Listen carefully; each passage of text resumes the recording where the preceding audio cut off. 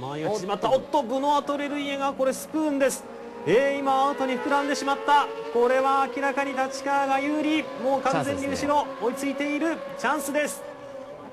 スプーンの立ち上がり。ああ激しいクラッシュ！どうした？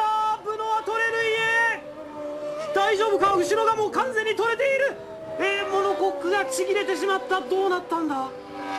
ブノアトレルイエ大丈夫か？モノコックは裏返しになってますねあくまで想像でしかないんですけど、ここですね。今スプーンでアウトにはらんでしまったトレルイエ。立ち上がりは普通に立ち上がってますよねこれ。でこの先でカメラが切り替わった時にすでにインガーで激しいクラッシュが起きています。確かもうアウトに避けています。